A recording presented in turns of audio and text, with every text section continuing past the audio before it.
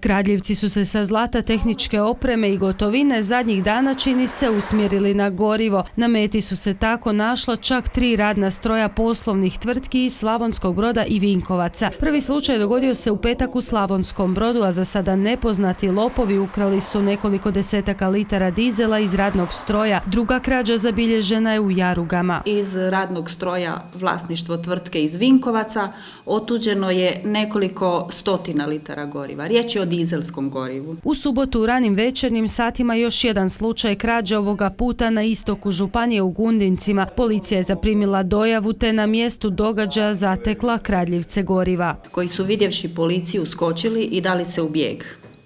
Jedan je odmah uhićen, u subotu u poslijepodnevnim satima, a drugi sinoć u poslijepodnevnim satima.